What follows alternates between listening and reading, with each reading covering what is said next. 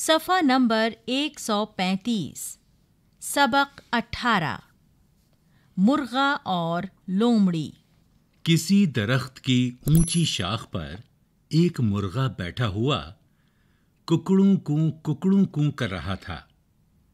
इत्तेफाक से एक लोमड़ी दरख्त के पास से गुजरी और कुकड़ू कू की आवाज़ सुनकर ऊपर देखने लगी।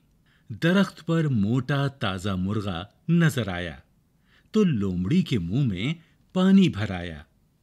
सोचने लगी शिकार तो बहुत अच्छा है मगर इसे नीचे बुलाने की क्या तरकीब की जाए?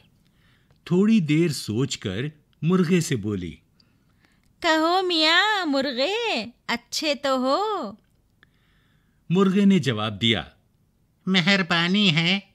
सुनाओ तुम्हारा मिजाज कैसा है?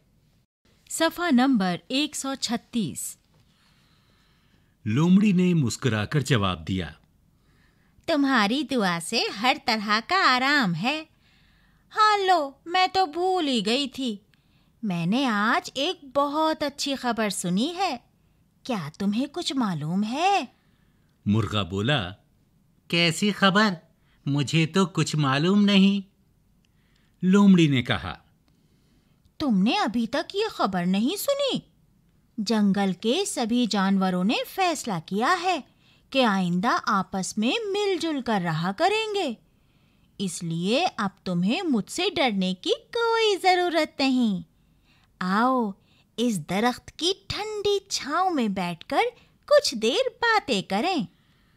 मुर्गा हंसकर बोला खबर तो बहुत अच्छी है। मगर वो देखो सामने कौन आ रहा है? लोमड़ी ने घबराकर पूछा। कौन है?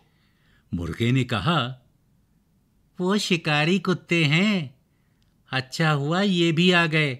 अब सब मिलकर बात करेंगे।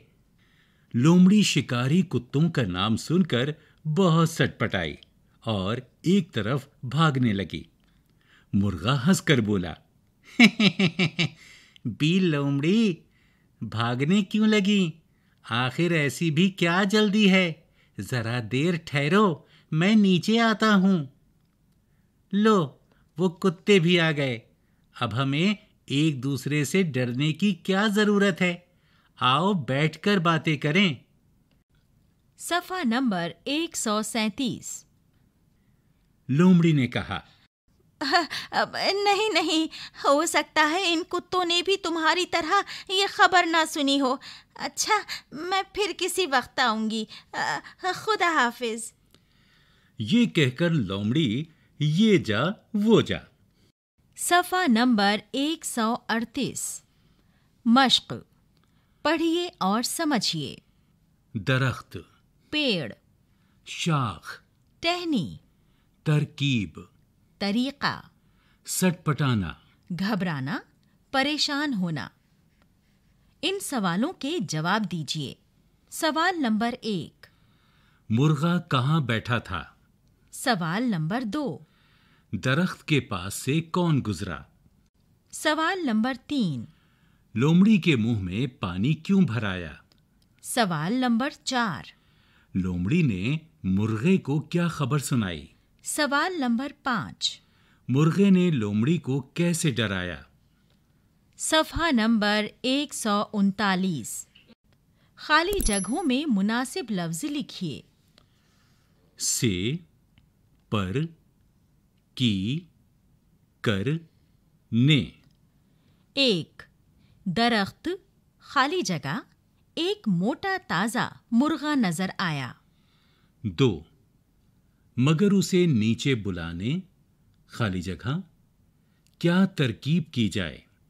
तीन वो थोड़ी देर सोचकर मुर्गे खाली जगह बोली चार मुर्गे खाली जगह जवाब दिया।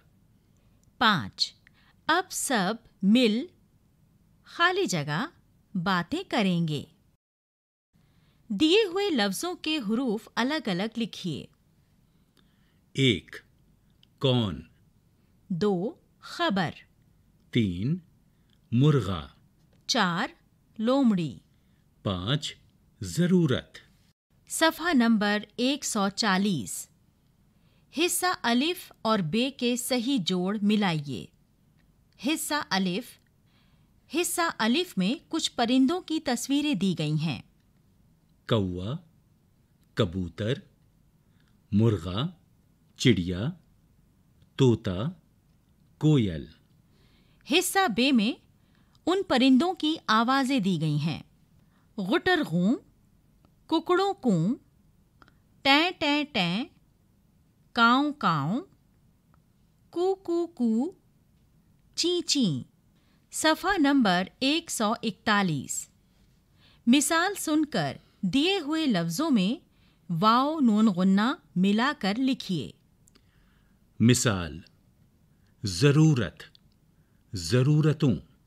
दरख्त बंदर शाख आवाज़ बात जंगल। हरूफ को मिलाकर लफ्ज बनाइए। एक शीन अलिफ। खे। दो दाल रे खे ते। तीन शीन काफ अलिफ रे। चार फे बड़ी ये स्वाद लाम छोटी है। पाँच ते रे काफ छोटी ये बे। सफ़ा नंबर 142 खुश खत लिखिए। नज़र। खबर। मिजाज। शिकारी। इत्तेफाक। आपको जो कहानी याद हो उसे अपने साथियों को सुनाइए। इसी के साथ ये सबक यहीं पर ख़त्म हुआ।